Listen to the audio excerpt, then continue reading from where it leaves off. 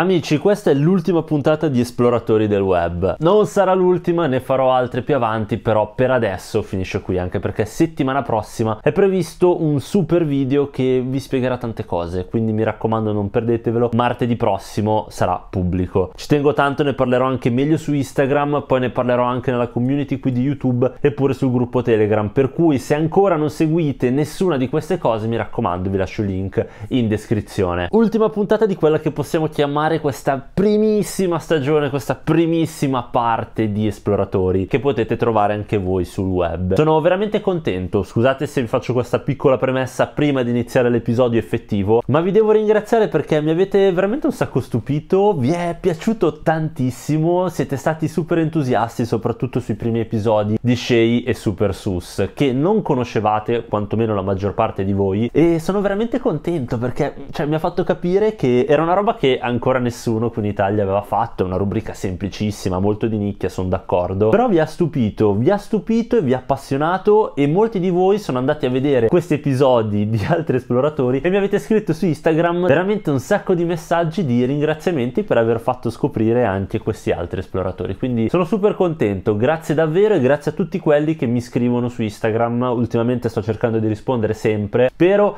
che anche questi ultimi esploratori vi piaceranno e non vedo l'ora veramente di preparare tutti i prossimi episodi, magari anche qualitativamente più belli, magari addirittura riuscirò anche a mettermi in contatto con loro e intervistarli, sarebbe veramente una figata pazzesca. Lo spero davvero e niente amici, godetevi questo ultimo episodio di Esploratori del Web. Allora, oggi vi porto alla scoperta di due esploratori davvero incredibili. Per chi di voi mi segue su Twitch già li conosce, ha avuto modo di vedere un sacco di esplorazioni durante le dirette. A proposito, mi raccomando, stasera ci vediamo su Twitch alle ore 21. Quindi oggi voglio parlare con voi degli Explomo. Due ragazzi ragazzi che con i loro video hanno veramente portato un vento di aria freschissima nell'urbex europeo. Hanno esplorato posti davvero incredibili, arrivando addirittura a trovare posti intatti non solo in tutta Europa, ma anche in Italia da noi, posti che nemmeno noi italiani avevamo mai visto. Anche loro, come il nostro ormai carissimo pazzo olandese e bastardo, e ripeto una citazione di Austin Power, grandissimo Bob, lo sai che ti voglio bene, anche loro hanno avuto dei problemi abbastanza pesanti con l'Italia. In questo caso non perché hanno scoperto un qualcosa di militare, un qualcosa che doveva rimanere segreto, ma sono andati a esplorare, sono riusciti ad entrare in una villa abbastanza conosciuta nell'urbex italiano. È una villa su cui tanti di noi hanno puntato gli occhi, interessantissima. Loro sono riusciti ad entrarci e dentro hanno trovato delle cose incredibili. Vi dico solamente che all'interno di questa casa c'era addirittura un velocipede, che per chi non sapesse cosa sia, è semplicemente una di quelle bici antiche che hanno la ruota più grande davanti e piccolissima dietro. Cioè, questa è una cosa che abbandonata, vi giuro, giuro, io me la sogno, cioè non vedo l'ora veramente di trovarla. Comunque, a parte questo, nel loro caso è un rarissimo episodio, tant'è che loro in realtà portano luoghi super tenuti bene, ma non vanno mai a esplorare un qualcosa di controllato. Quindi vorrei partire raccontandovi un po' come ho scoperto questo gruppo di ragazzi con cui tra l'altro sono in contatto. Ringrazio veramente un sacco Maureno, che è la persona con cui riesco a chattare di più tra i due, e veramente li ringrazio perché sono super disponibili, rispondono sempre,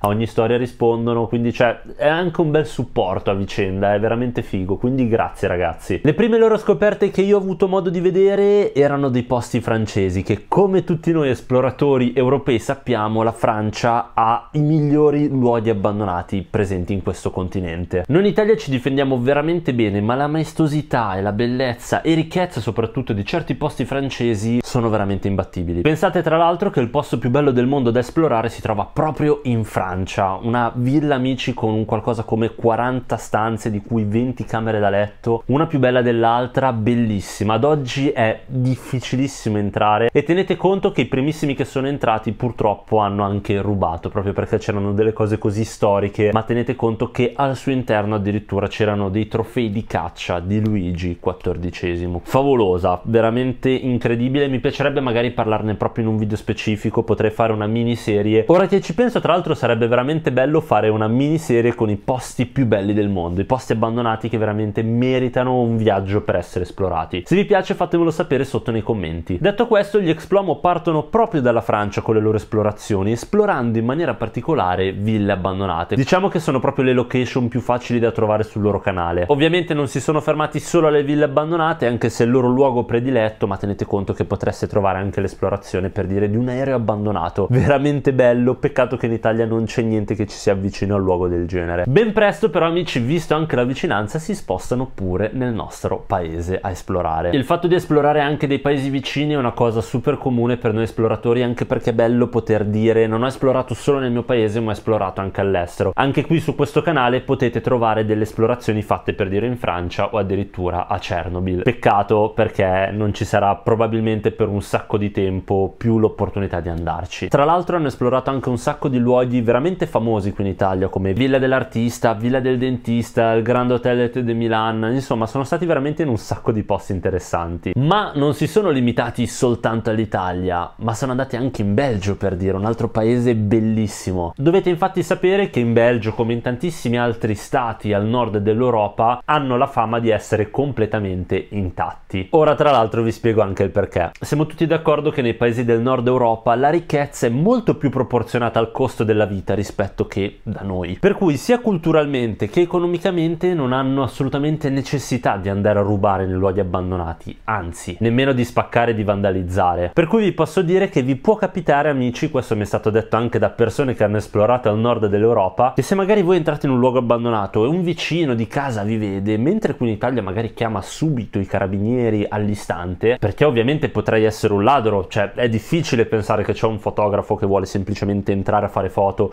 o uno che vuole entrare semplicemente a fare video. Nei paesi invece del nord Europa può succedere come è successo ad altre persone che me l'hanno raccontato che magari il vicino esce di casa, ti chiede semplicemente cosa stai facendo perché per loro non esiste il concetto di entro a rubare, è rarissimo e i ladri tendenzialmente non vanno a rubare robe abbandonate, per cui vengono lì, ti chiedono che cosa stai facendo e quando scoprono che semplicemente vorresti entrare a fare un paio di foto quasi ti ci accompagnano, cioè ti spiegano il motivo dell'abbandono, chi ci viveva, perché è stato abbandonato. È una cosa allucinante, cioè se fosse così, pure qui in Italia sarebbe la cosa più figa del mondo. E vi giuro che quando me l'hanno raccontato stentavo a crederci finché effettivamente questa cosa non l'ho saputa da più persone. Cioè è bellissimo pensare che lì non hanno quasi quel concetto, cioè il ladro, il furto, il vandalo. Ed è proprio da questi due viaggi che iniziano a diventare davvero conosciuti, grazie ai luoghi che hanno esplorato in Belgio e in Italia. Tornano in Francia e tra un tour e l'altro iniziano a crescere veramente tanto, ad avere sempre più contatti che gli permettono di avere nuovi luoghi abbandonati sempre più incredibili. Ed è proprio qui amici che iniziano a portare dei luoghi che sono un qualcosa di assurdo. Il primo video infatti che ho visto da loro è stato proprio questo e non ci potevo credere. Questa enorme proprietà francese in cui erano rimaste un sacco di cose, una più bella dell'altra. Nei loro video poi mi ha sempre colpito anche l'emozione che riuscivano a far trasparire e anche le musiche che utilizzavano che sono le stesse che userei io con quelle riprese. Se proprio posso permettermi di fare una critica, secondo me l'unica cosa è il montaggio, a volte troppo diluito, troppo allungato, infatti i loro video durano veramente tantissimo. Sono stupendi, portano dei luoghi veramente incredibili. Forse qui in Italia siamo abituati a un montaggio molto più veloce, molto più snello, cioè senza troppi fronzoli. Tenete conto infatti che i loro video possono arrivare dai 20 minuti all'ora e mezza. Ci sono anche video di un'ora e mezza, esplorazioni che durano un'intera ora e mezza, un film. Sono scelte ovviamente, ma vabbè, io li adoro comunque. Da lì hanno preso il via, hanno continuato a esplorare, portare posti sempre più belli e a migliorarsi ogni volta. Un'altra loro esplorazione che ricordo super bene per la sua unicità è stata quella all'interno del megastore abbandonato. Pensate amici che era rimasto davvero tutto nonostante fosse abbandonato. Provate ad indovinare dove erano a fare quell'esplorazione. Ovviamente in Belgio. Tenete conto che che in Italia avevamo un esempio simile, un'azienda italiana che produceva calzature per la Serie A ad oggi purtroppo fallita,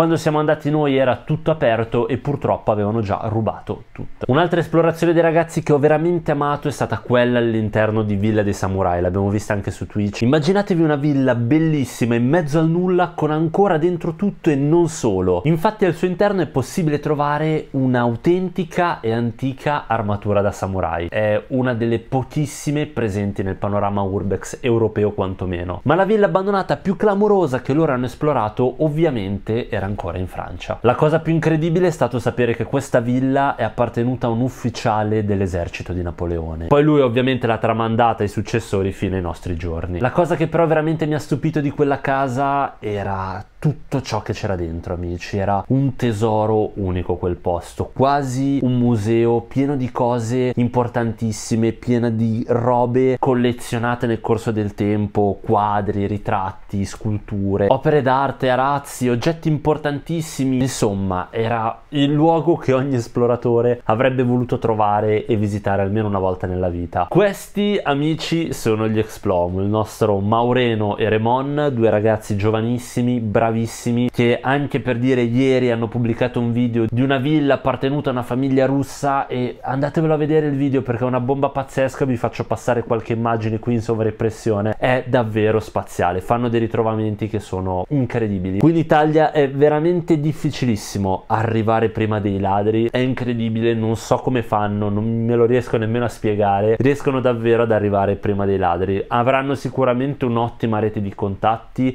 in Europa ci si aiuta molto di più tra i vari stati, tra Francia, Germania, Inghilterra, qui in Italia purtroppo siamo tutti un po' più, un po' più chiusi insomma, ma perché arriviamo da un paese in cui l'occasione purtroppo fa l'uomo ladro, mai in nessun altro posto nel mondo come qui in Italia è una frase fatta e finita e vera soprattutto, per cui è veramente difficile che dei posti noi riusciamo a trovarli intatti anche per tanto tempo. Anzi, è più corretto dire che è difficile che dei posti che diventano noti nel mondo dell'urbex non vengano presto vandalizzati. Ragazzi, io spero veramente che questa miniserie vi sia piaciuta. Io mi sono divertito un sacco a farla, sono veramente contento e anzi ringrazio tutti voi che mi avete sostenuto un sacco, avete fatto veramente un sacco di views, nonostante effettivamente sia un mostrarvi qualcos'altro e mi ha fatto veramente piacere perché mi fa capire che sì, volete urbex, vi piace il mondo dell'urbex, vi piace anche scoprire qualcos'altro, vi piace magari se propongo altro. Infatti questo mi dà una forte spinta per tutto quello che vedrete nelle prossime settimane. Farò dei video veramente molto importanti per me perché saranno un vero e proprio cambiamento. Vi porterò un po' fuori dal mondo dell'urbex, quindi so che molti di voi questa è una cosa che può non piacere, forse non lo so, scrivetemelo sotto nei commenti. Però è una cosa a cui tengo perché come vi ho detto sia in live sia in altre occasioni non mi sento solo un esploratore, mi sento altro, mi sento un videomaker. Mi piace un sacco fare video e mi piace farlo in tante forme, non solo nell'urbex, di lavoro lo faccio già per mille altre cose, per cui vedrete, secondo me vi piacerà, sono video molto diversi, sono molto più studiati, almeno questa serie di penso 3 o 4 video che vi porterò nel corso delle prossime settimane, ma spero veramente che vi piaceranno, sono belle tecnicamente, non lo metto in dubbio, hanno anche un bellissimo messaggio che è ciò che penso io ed è ciò che sto maturando io in questi ultimi tempi perché per me personalmente è stato un periodo di grandi cambiamenti non solo nel canale negli ultimi mesi ma anche nella mia vita e non vedo veramente l'ora di raccontarvelo. Vi farò entrare molto di più nella mia storia e in tutto quello che succede e anzi spero che potrà essere di ispirazione per tanti di voi che ambiscono a migliorare e a fare altro e a tentare magari di seguire quello che è ad oggi un sogno, che anche per me ad oggi è un sogno ancora quello che sto cercando di realizzare. Se ci riuscirò però sarà filmato la cosa mi piacerà tantissimo.